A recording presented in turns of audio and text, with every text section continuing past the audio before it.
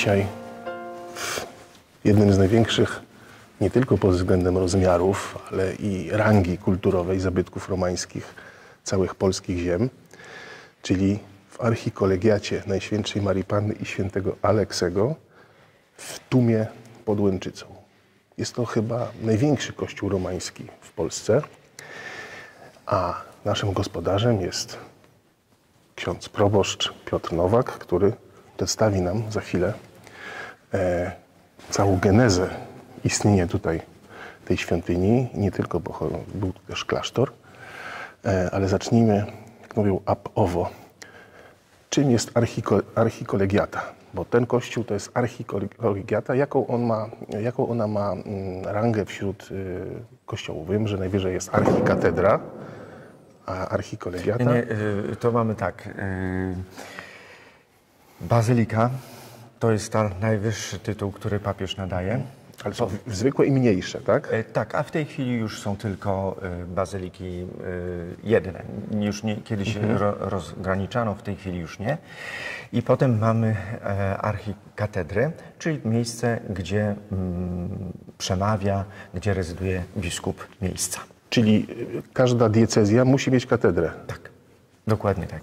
I zazwyczaj katedrą staje się ten kościół najbardziej e, zasłużony, najbardziej ceniony e, w danym e, okręgu administracyjnym. A my jesteśmy w diecezji łódzkiej, Nie, my jesteśmy w diecezji łowickiej, czyli katedra najbliższa jest w Łowiczu. a, w Łowiczu. Tak. Łowicz ma swoją katedrę niebowzięcia Najświętszej Marii Panny, a tu znajduje się archikolegiata.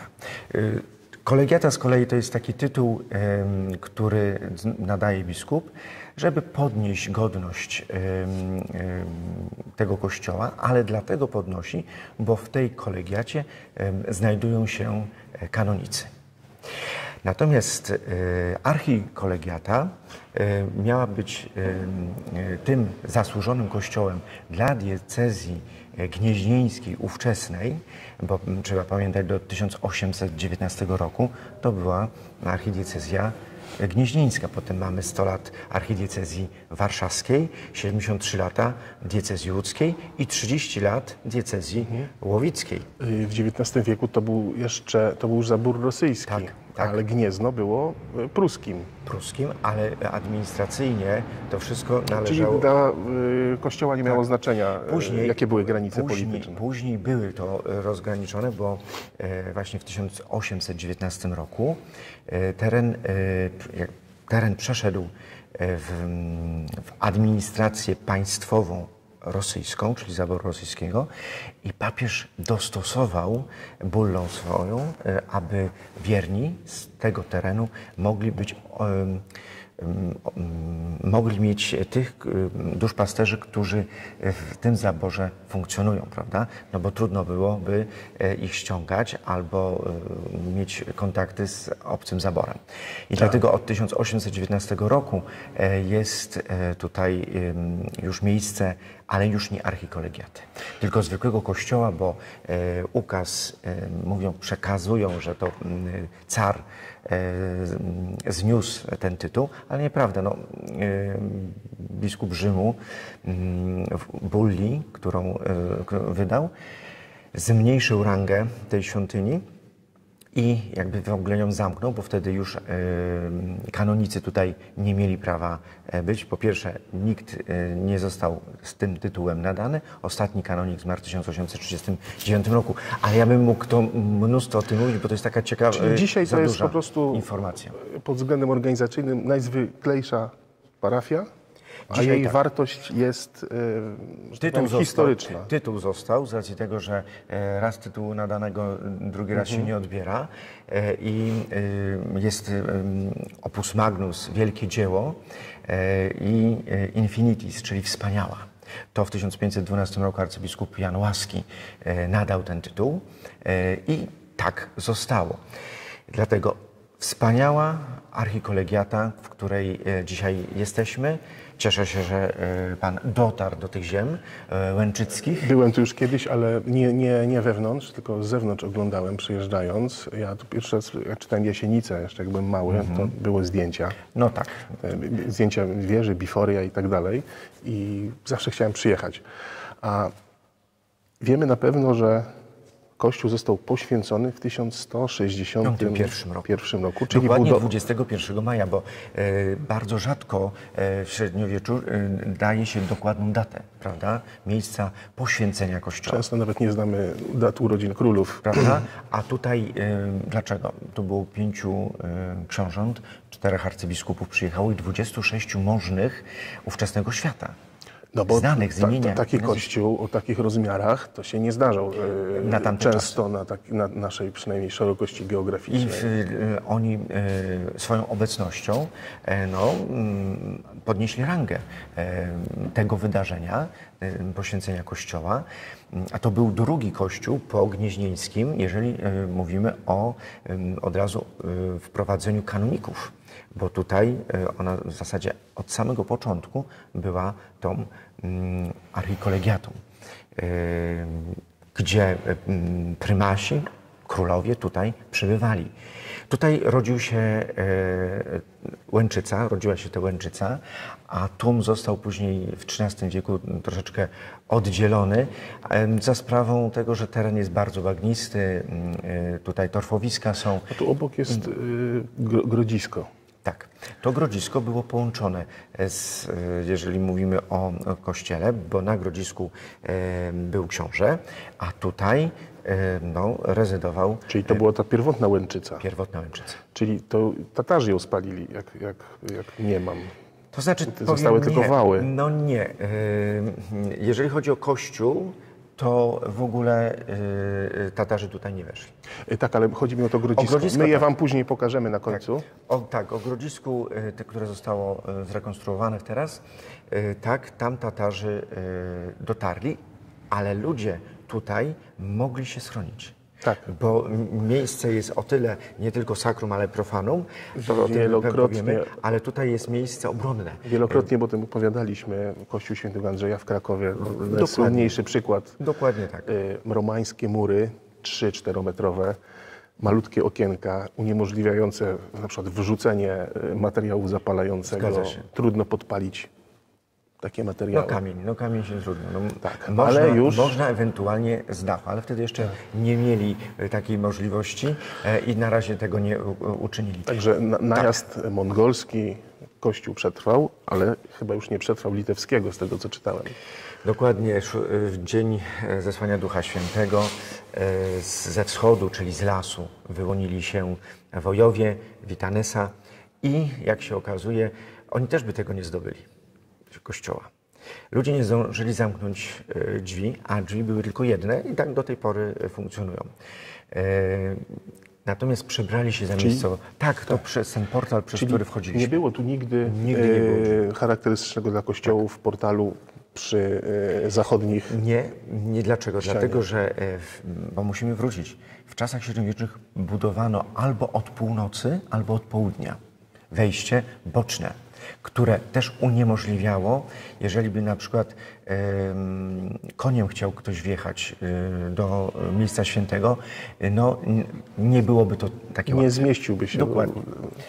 Chociaż no tutaj mówimy o tym, że wejście do archikolegiaty jest ochronione w tej chwili przez kaplicę z 1569 roku, przez kanonika Tycjana ze Sleszyna e, i dzięki temu no, widzimy ten piękny portal zachowany do tej pory. Ale o tym, o tym go powiemy. szczegółowo. Natomiast Czyli tak, od zostajemy północy tutaj. jest wejście. Od północy jest wejście, e, przebierają się Litwini, e, za miejscowych wchodzą, demolują. A, czyli to był podstęp, Dokładnie tak. dywersja. Dywersja. Wiedzieli, że od zachodu nie zdobędą, bo jak wspomniałem wcześniej, mamy tutaj miejsce torfowiska, bagniste tereny, natomiast od lasu, od boru wtedy e, mogli e, się tu dostać. Przebierają się ludzie, tutaj pamiętajmy, e, wtedy były uroczystości tygodniowe. E, Dzisiaj my mówimy, bo mamy środki e, komunikacji, szybko się przedostajemy z jednego punktu do drugiego. Ludzie musieli długo podróżować. Dokładnie, a jak już przybyli, to już zostali. I, I część była na zewnątrz, część była w, w kościele, e, więc potem był ten moment, kiedy oni wykorzystali drzwi otwarte i e, tutaj kościół został zniszczony. Czyli wywieźli część ludzi w niewolę, a resztę wycięli w pień. 400 kapłanów, e, więc proszę sobie wyobrazić, jaka musiała być tu wielkie zgromadzenie, jeżeli 400 kapłanów zostało e, zabitych. Oni przyjeżdżali oczywiście z terenu ówczesnej archidiecezji gnieźnieńskiej, prawda? Tak, dziki Litwin Witenes, wielki książę litewski ówczesny, to był 1294. E, o ile pamiętam, to był ojciec Giedymina, czyli pradziadek Jagiełły. Dokładnie tak. I Polacy tak sobie myśleli, ci możni politycy, że albo tych dzikich Litwinów wykończymy, albo oni wykończą nas, a najlepiej będzie przekabacić ich na naszą stronę po 100 latach i zamiast znosić ich ciągłe ataki, tośmy ich ochrzcili, No, i ochrzcili. wzięli sobie króla. Dokładnie. I dzięki temu mieliśmy więcej siły na rozprawę Późniejszym z zakonem. zakonem pewnym. krzyżackim. Tak. tak. Ale niestety, jak wam opowiadaliśmy w Sandomierzu, y, najazdy litewskie były niezwykle częste. Nawet y, w czasach XIV-wiecznych, gdy polski król miał żonę z Litwy i tak te napady się powtarzały, aż do momentu wybrania Jagiełły na męża króla polskiego, królowej Jadwigi. Jadwigi. Dokładnie tak. A stoimy tutaj w tym miejscu, gdyż jest tu jakiś niezwykle cenny zabytek. Otóż, e, wracając e, do naszej e, rozmowy, tutaj w absydzie zachodniej znajduje się Wielkie Deis. To jest modlitwa. Dlaczego wielkie? Dlatego, że w kościołach e, wschodnich takie e, malowidła e, są zawsze umieszczane i przedstawiany jest Pan Jezus tronujący. My również tutaj widzimy Pana Jezusa tronującego, który błogosławi w tak zwanym migdale, mandrolli. Po lewej stronie mamy e, Matkę Bożą Najświętszą, a po prawej Jana Chrzciciela. To się nazywa Chrystus Pantokrator. Dokładnie. E, A pod tym mamy białą, białą linię, pas i dwunastu siedzących apostołów. Proszę zwrócić uwagę, że jeżeli pójdziemy od lewej strony, to mamy tutaj namalowany pierwszy hymn polski. Bogu Rodzica Dziewica, Bogiem sławiona Maryja, Bogiem Chrzciciela Dziewicza. Ktoś musiał tu być, żeby potem tekst napisać i pod Grunwaldem tą pieśń wyśpiewać. Czyli ten fresk był inspiracją, Tak jak wejść... a nie odwrotnie. Nie, nie. To jest XII wiek. Czyli, bo jak rozumiem, niedawno odsłonięto No niedawno, no już w lata sensie 50. w XX wieku. XX wieku. Czyli przez setki lat było, bo Kościół się, jak rozumiemy, przekształ, przekształcał tak, można powiedzieć, każda, z biegiem czasu. Dokładnie, każda epoka musiała po, po, sobie coś pozostawić, tak? Dzisiaj widzimy to, co też nie, było do, nie jest do końca e, pierwotne, ale jest bardzo zbliżone już do tego, co... Czyli konserwatorzy zabytków po tym, jak y, niemieckie bomby spadły, Proszę tego nie mówić. Nie było żadnych niemieckich bombów. To jest No ale- historia w żadnym wypadku. y, Wikipedia podaje, że zbombardowali... Proszę nie słuchać, nie czytać Wikipedii. E, Okej. e, dlaczego? Bo to sobie No, wytniecie. fakt jest, że, Nie. że sufit spadł. Zaraz wyjaśnię. E, Jeżeli mówimy o wojnie, to wojska polskie e, dokonały niestety zniszczenia. Bo wieży zna- Ale znajdował żadnego się... później nie było żadnego nie, nalotu niemieckiego. To w jakich okolicznościach straciła archikolegiata Y, sklepienie? Właśnie przez ostrzał artyleryjski Wojska Polskiego. Trzynastym strzałem cennym dopiero zniszczono wieżę, bo Tak. musieli się ustawić, a to było 5 kilometrów stąd, od Topoli Królewskiej, bo tutaj zostawili Niemcy swoich obserwatorów i kiedy zobaczyli... Wojsko- najwyższy punkt. Dokładnie. Jeżeli e, zobaczyli, że ktoś jednak tam na tej wieży jest północnej, to był rozkaz. E, Żołnierz pisze jasno w swoim dzienniku. Przepraszam Boże, że będę do ciebie strzelał. Ale rozkaz trzeba było wykonać. Za czym to ustawili? Więc e, trzynasty strzał dopiero e, spowodował e, zniszczenie nieprzyjaciela. I ten nieprzyjaciel jeden przeżył, bo resztę zostało zniszczonych, prawdopodobnie było tam ich pięciu. I ta, ten dach został faktycznie posiadkowany jak cer szwajcarski, natomiast potem Niemcy zabezpieczyli teren, ale nic w tym te kierunku nie robili. Myślałem, że było tak jak w strzelnie, że ładunki Nie. albo bombardowanie, albo Niemcy celowo wysadzili. Nie. To jest takie, może y, taka ciekawostka dla przewodników, którzy chcą wzmocnić To przekaz. ja muszę napisać do informacji. Wikipedii. Tak.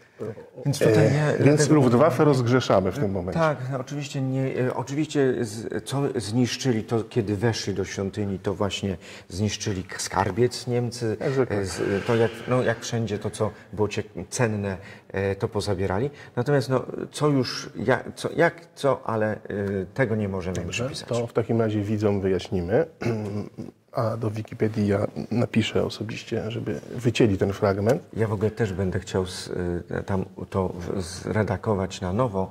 E, już pracuję nad tym, ale to tak, no, ja jestem co sam, wie pan, to ja nie jestem w stanie wszystkiego się po- podjąć, jak mam parafię, którą muszę się najpierw parafię zająć. A to y, robię dlatego, bo kocham. Czyli to jest fresk, To tak? Czyli jest to fresk malowane na malowane- mokrym tynku. Dokładnie i to jest wielkie Deis. Dlaczego? Ale przepraszam, e, czyli greckiego. Tak. to jest z XII wieku. Czyli jednocześnie z budową kościoła, albo w, mniej więcej w tym samym okresie, umieszczono Oczywiście. tutaj ten fresk. Nie wiemy, kto I był jest- autorem. I nie wiemy, ale jest jeszcze jedna ciekawostka. Prawdopodobnie, jeżeli fresk był namalowany, a kościół niekoniecznie musiał być do końca wybudowany, tak? Bo tego nie wiemy. Mamy podane, że 40 lat, ale na tamte czasy bardzo krótki okres budowy. Są prawda? katedry, co 800 lat były budowane. Dlatego, dlatego mówię.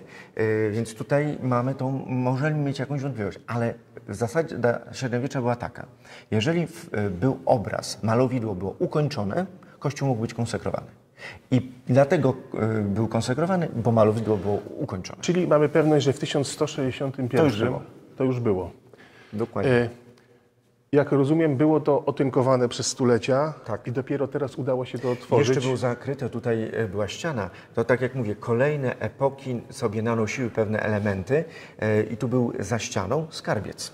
Czyli nasi konserwatorzy próbowali e, doprowadzić to do najbardziej romańskiego stanu, jak to tylko Jakby jest miało wyglądać, możliwe. tak. Wszystkie barokizacje usunięto. Jeden tylko jeden e, ołtarz został po prawej stronie, jakby upamiętnienia e, tego miejsca po e, właśnie baroku. Natomiast ogólnie było siedem, ale jakbyśmy się tu pojawili w 1939 roku, było siedem ołtarzy, empory były zamurowane, oczywiście kościół był otynkowany, umalowany na odpowiednie e, kolory. Zamurowane były tutaj, tak. Czyli nie można byłoby e, wiernych umieścić tutaj na tej emporze. Na... Nie, tak. Natomiast był ołtarz główny, hebanowy, e, z Matką Bożą w, e, w niebo wziętą. Ale sklepienie było e, pewnie gotyckie, krzyżowo-żebrowe. Mogło być, e, choć e, mogło być e, jeszcze pierwotne, bo oni później zmienili po 1343 roku, kiedy był tu pożar i No i po napadzie litewskim. Tak. I potem gontem był okryte właśnie dach i potem zmienili, dlatego żeby e, ochronić na wszelki wypadek późniejsze ewentualne pożary. A dzisiaj jest żelbeton pod tą e, drewnianą, znaczy nad tą. Nad tą, tak. Jak z dołu patrzymy, to Tak, jest e, przykryty. Jest to na wskroś współczesna forma, bo w średniowieczu nikt by takiego nie zbudował, tylko byłyby Podejrzewam, że żebrowe. Żebrowe, ale z gontem kryte dach to jest oryginalny dach, bo on był lekki wtedy i był, miał możliwość utrzymania się, jeżeli nawet konstrukcja taka była kamienna. Tak, ale o romanizmie świadczą niezwykle grube mury, które utrzymywały No, ciekawostką jest to, że e, później, mm, w 1487 roku, kiedy to już był gotyk, e, mamy kolumny połączone kamień z cegłą, bo to jest cegła polska, czyli krótka, długa, krótka, długa, w takim jak było Przepraszam, budowane. nie mogę się powstrzymać, ale zawsze robię to samo. Jak widzę średniowieczny mur, wozówka, główka, wozówka, czyli typowy dla polskiego gotyku Dokładnie. układ, I, tu, I dlatego tak, a, a, absyda, absydy te poboczne, czyli nawy zostały już e, w gotyku e, i u, e, mamy te krzyżowo-żebrowe. Tak, i to jest typowe, jakbyśmy się żywcem przenieśli na Wawel albo e, do Malborka. Najbardziej Dokładnie tak. popularne sklepienie krzyżowo-żebrowe, które umożliwiało budowanie wielkich sal z jedną kolumną na środku. I ciekawostką jest jeszcze, że y, dla oka widzimy tutaj tak zwany łuk złamany. Bo styl, y, styl e, romański mamy ten łuk bardzo delikatny, y, profilowany, prawda? I tutaj to jest taka charakterystyka tego miejsca. Czyli tam, gdzie się zaczyna prezbiterium, tam za flagą, Tak. e, ten fragment muru zbudowany z e, piaskowca, granitu i pewnie polnych kamieni, to jest oryginał. Tak, tak. Czyli wszystko, co jest z kamienia, to jest. Oryginalne. To jest za, na wysokości Empor. Jest wszystko oryginalne. Y, Z zewnątrz Ale czasami tam widać. też, czy, czy, tak, czy no, nie? ja mówię o bocznych nawach, tak, bo e, tutaj, e, jeżeli chodzi o e, nawę środkową, nawę główną, e, wszystko jest e, zachowane tak, jak było w 1161 roku. Ale jeszcze chciałem wrócić do tego fresku, bo to podobnie jak ostatnia wieczerza się zachowała w No, można formie tak niestety, powiedzieć. e, tylko tam trochę więcej apostołów widać, Tak. 12. E, Tutaj nie możemy chyba rozpoznać, który jest który. Jeżeli by e, sięgnąć do pewnych e, źródeł, e, można by się pokusić, ale jeszcze, jeszcze nie było. Sześciu, sześciu widać, że na pewno sześć głów jest Na widocznych. pewno jest, e, proszę mi uwierzyć, jest 12. mam e, mam e, rekonstrukcję e, tego obrazu i tam widać.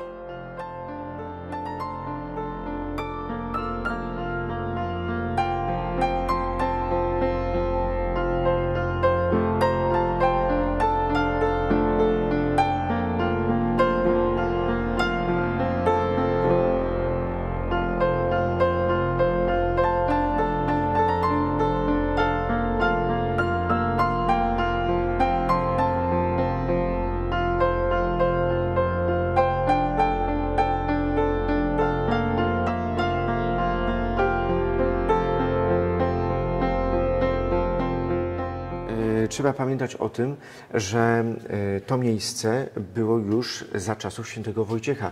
E, Tutaj 36 e, lat po chrzcie Polski przybyli pierwsi benedyktyni, ci, którzy mieli placyt niejako chrystianizacji państwa Czyli w gnieźnieńskiego. 1002 roku. Tak, można to y, y, przyjąć. Dokładnej daty już tego na pewno nie wiemy, ale wiemy, że w okolicach no, 46-40 lat tutaj rozpoczęła się chrystianizacja tego miejsca. Bo katedra w Gnieźnie została y, ustanowiona, znaczy diecezja w 1000 roku, Tak, prawda? więc dlatego jak Razem z było- Wrocławiem Tak, to były najstarsze są dwie Kołobrzegiem i i Kołobrzeg. To są chyba te trzy najstarsze e, ośrodki e, chrystianizacji i potem no, trzeba było to rozszerzać, prawda, tą chrystianizację. Dlatego trafiono tutaj, tu Astryk, przybył e, Astryk z Rzymu e, i e, tu jest bardzo ciekawo, ciekawa sprawa. Wezwanie Najświętszej Marii Panny i świętego Aleksego, jak pan wspomniał na początku. Dlaczego? Bo na Awentynie spotkał się ze świętym Wojciechem. I jako przyjaciele tu się również spotkali, bo z dworu chrobrego Bolesław tutaj przybył. A dlaczego Aleksy? Bo Aleksy tam e, na Awentynie jest pochowany. I zazwyczaj dodawano takiego duchowego wsparcia. Tak jak e, Kraków ma wsparcie w Tyńcu, tak Płock miał wsparcie w Tumie. Mogilno z No to kolei do było, Kujaw. Tak, Mogilno z kolei e, duchowo wspierało Gniezno.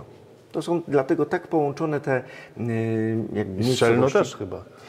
Ale tam był klasztor... Klasztor, ale to późniejszy. Ja mówię o e, klasztorze tutaj. w XI e, wieku. Tak, bo to wtedy to mówimy o późniejszym. Mhm, Tutaj pierwsze benedyktyni byli, prawda? Więc tutaj to jest miejsce. I e, główna nawa to był pierwotny klasztor. Dopiero kiedy benedyktyni się wynieśli tak ostatecznie, bo oni tak odchodzili, wracali, do 1097 roku to miejsce jakby zostało zapomniane. Czyli krótko tu byli. Króciutko byli. Czyli kościoła nie budowano od zera, tylko Bo wszystko to, co było na, nad ziemią, zabrali. Natomiast e, relikty, e, które zostały odkryte w XX wieku, świadczą o tym, że właśnie to opactwo tu musiało ale tu jest jakaś wystawa, e, Nie ma. Pod spodem, pod spodem em, jest dziewięć krypt e, pod posadzką, które no, pamiętają czasy. Ale można je zobaczyć, czy to tylko trzeba być archeologiem, żeby to zrobić? Trzeba na dzień dzisiejszy trzeba być archeologiem. I na tym Salomea, czyli wdowa po krzywoustym, postanowiła tutaj wybudować tą okazałą em, kolegiatę. Tak, zmarł w 1138 i tak by się zgadzało. Wszystko idzie we właściwym kierunku, a ona umiera 1144 właśnie tutaj. No, może w- na Grodzisku, tego też nie wiemy, ale prawdopodobnie również została tutaj pochowana. A nie wiadomo gdzie. Nie wiemy. A pr- prowadzono na przykład y, badania jakimś georadarem, żeby sprawdzić na przykład, czy pod posadzką nie ma krypt, tak jak na przykład Kopernika znaleźli we Jeszcze nie. Jeszcze się nie chcieli ci, którzy mogliby e, pasjonaci Czyli takim są miejscem. tajemnice, Są tajemnice. do odkrycia. Bardzo duże. Czyli przez 900 lat na pewno coś To, co zostało wykopane e, archeologicznie, mówię w latach e, 50. XX wieku, em, to e, też nie zostało do końca zbadane. Tu było na przykład pochowanych czterech arcybiskupów, a mamy tylko mm, świadomość o jednym. Tak? Tu znaleziono e, kielich podróżny, ten sam kielich, który znajduje się w Tyńcu, tylko oni tam mają złoty, my mamy srebrny, 12-centymetrowy, em, a to jest prawdopodobnie kielich podróżny świętego Wojciecha, o którym właśnie tutaj jest mowa w tej chwili. i my go mamy tutaj. E, Mamy go w, e, na zamku w Łęczycy. A, szkoda, że nie tu. No, ale wtedy były takie koniunkturalne sprawy polityczne, więc A podłoga, y, posadzka To, ta jest... posadzka jest już e, lata 50. XX wieku. Czyli była konieczność położenia Konieczność, jej... Tak, bo wszystko było w czasie wojny e, zerwane, e, bo wtedy oni pro- prowadzili prace archeologiczne. Ale Niemcy prowadzili pracę Nie, Polacy. Lata 50. XX wieku. nie, myśl- myślałem, że w czasie wojny... Nie, nie. W, w, czasie wojny nic tu e, Niemcy nie robili. To, co zabrali, e, co im odpowiadało, e, no Materialnie. po prostu e, wojenne zdobycze. I to najba, ale najbardziej archikolegiata w czasie II wojny światowej została e, dotknięta, e, no, tak jak powiedziałem, przez wojska polskie, ale później niedbanie przez te 6 lat, to warunki atmosferyczne e, no, też mocno wpłynęły na mury samego kościoła. Tak, my kiedyś byliśmy w takiej szkockiej miejscowości St. Andrews. Tam jest katedra, którą też spalili he- heretycy. I warunki atmosferyczne sprawiły, że pozostały tylko dwie gołe ściany i fragment wieży, a w środku trawa. Tak, tak działa natura, jak się nie dba Tak, dokładnie. o bu- Ona, budynki. ona wchodzi, yy, ona mocno ingeruje potem, e, rozsadza. Zwierzątka się tak, no wszystko, rozwijają. Wszystko, wszystko, co jest możliwe. Rosną drzewka korzeniami, rozsadzając posadzkę i tak dalej. Ale wracając do 1144 roku, kiedy umiera e, Salomea, bracia są w kłótni. Oni już walczą o tak zwany e, prym, tak? który będzie właściwy, który będzie pierwszy. Ale to jest piękne, że mm, na, ku pamięci matki chcą kontynuować rozpoczęte jej dzieło. Oczywiście to było w związku razem z, y, połączone z arcybiskupem Gnieźnieńskim e, i y, tutaj wybudowano właśnie tą świątynię. Na chwilę przerywają grę o tron, I by tu dokończyć wolę matki. Dokładnie, kontynuują. Mm, No to 40 lat trwa i potem, e, potem e, następuje konsekracja. Ale wejdźmy w to miejsce, gdzie e, arcybiskupi, książęta i możni tamtego czasu weszli w te progi. Tu jest bardzo jedna ciekawostka, do której za chwilę też sobie podejdziemy, jakby upamiętniając, że faktycznie tutaj jest znak tych, którzy byli e, w tym miejscu. Wchodząc widzieli... Orgi- widzimy oryginalne portal. wejście. Oryginalny, tak. Widzimy I tympanon. portal. Tak, tympanon wspaniały, składający się z pięciu e, pól. Ostatnie pole jest gładkie, natomiast cztery są wypełnione elementami roślinnymi i zwierzęcymi. Co miało tu wskazywać? Że człowiek, który wchodzi ze świata, ma wszystko zostawić, co to światowe przed wejściem do świątyni. Czyli oddzielano sakrum od profanum. I jeszcze co pokazano?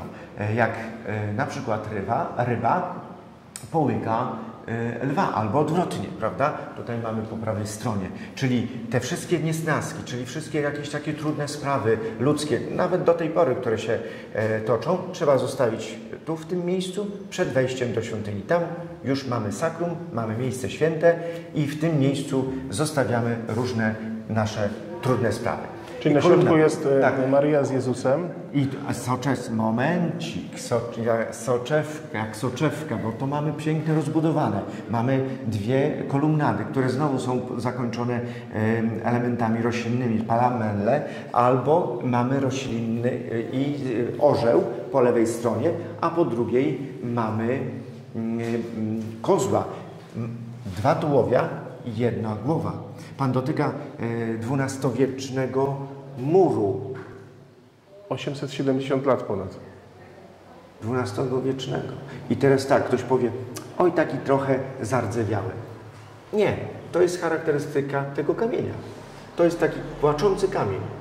On był niedaleko Konina wydobywany e, i tutaj przywieziony. Czyli tu mamy piaskowiec, tu mamy granit. Tu już mamy granit, ułożony kostka po kostce. Jeżeli była nie pasowała, to zdejmowano i przycinano i dawano. Jak ciężka musiała być praca kamieniarzy, którzy musieli ręcznie wymierzyć i wyszlifować, by kamienie To pasowały. nie jak dzisiaj na Allegro przywiozą, ułożą w tego wszystko. to Dlatego tak było długo trwała zrobić. budowa. Dokładnie. I tu mamy jeszcze tak, pierwszy, po prawej stronie pierwszy cud Pana Jezusa w Kanie Galilejskiej. Stągwie z winem. Dokładnie widać. tak, tu widzimy, a po lewej stronie zwiastowanie Najświętszej Marii Panny. I tak jak Pan chciał jakby odpocząć, to ja teraz mówię i soczewka skupia się nam na Matce Bożej z Panem Jezusem, po lewej i po prawej stronie adorujące aniołowie, którzy jeden trzyma krzyż, a drugi trzyma lilię. I co jeszcze jest ciekawego? E, Tutaj nie taki zwykły kamieniarz musiał być. Proszę zobaczyć, jak one są pięknie, te fałdy, e, czy tam u Matki Bożej, czy e, u aniołów, czy nawet same skrzydełka wyprofilowane, ułożone. To nie był pierwszy, lepszy ten, który taki, można powiedzieć, ludowy kamieniarz. Tak, tu byli, zwłaszcza tu byli dolna spro- część. sprowadzeni naprawdę goście, e, którzy znali się na fachu. Dolna część ich szat, jak- jakie szczegóły w kamieniu. No, praca na poziomie Michała Anioła. No i, i, no i bardzo dobrze Pan zaczął o tym. Bo jedziemy do Watykanu, po prawej stronie mamy kogo? Pieter. Mam pierwowzór, ktoś znowu tu musiał być, żeby tam za ileś tam lat e, to zostało pięknie stworzone. I tu mamy takie odnosi odnośniki do różnych spraw, które wtedy no, yy, gdzieś yy, może nam umknęły, ale jednak tutaj rodziła się Polska, tu się rozpoczynało pewne kulturalne yy, życie, działalność chrześcijaństwa. A teraz pokażę yy, czcigodnym telewidzom. Proszę. Co tu mamy? Wygląda jak ja- jabłko królewskie z krzyżem. Dokładnie, bo to jest królewskie miejsce. Naznaczone. Czyli już w momencie budowy. Dokładnie zostaną tu taką pieczęć królewską e, kamienną uformowaną. Czyli mamy jakieś potwierdzenie, którzy królowie e, polscy odwiedzali Tak. To miejsce? Nie, y, tutaj y, nie byli, y, nie był tylko y, Walezę. bo on że nie miał czasu? No, szybko uciekł do Francji. E, nie był zain- zainteresowany tym miejscem. E, ale tak, to Jagiełło było 7 razy. Tutaj na przykład zostało w 1409 roku e, informacja podana, że jeżeli podniesiona zostanie ręka na e, Litwinów, to Polska nie pozostanie bierna, prawda? I tutaj wypowiadana, tutaj została wypowiadana woj- wojna. E, Wiadomość krzyżakom została przekazana Dokładnie, tutaj. bo tu był wielki, krzy, wielki mm, krzy, ten mistrz, mistrz krzyżacki. A był tutaj? Tak. I tu w imieniu króla A, tu arcybiskup się- Gnieździeński przekazał informację. Potem stąd poselstwem e, poszedł do Malborka, żeby to przekazać informację, tak jasno określić już. No i potem z Krakowa e, zastęp wojskowy tu szedł, do Łęczycy się zatrzymał, znowu nabrał siły i potem na Grunwald. I oni wszyscy przechodzili przez Tylko ten portal. przez te y, port. Czyli nie jeden, nie jeden król polski swoimi szlachetnymi dłońmi opierał się Dotykał, i stawiał swoje... stawiał tu stopy. stopy. To jest, to jest oryginalne, tu się tu nic nie zmieniło. Czyli na przykład tutaj na pewno stawiał swoje stopy mój ulubiony Stefan Batory. Był, był tu mo- może na chwilę, może w każdym razie y, tutaj nie, nie mamy po- niepotwierdzonych nieobecności królów. 870 No i oczywiście arcybiskupów, tak, gnieźnieńskich, prymasów polskich.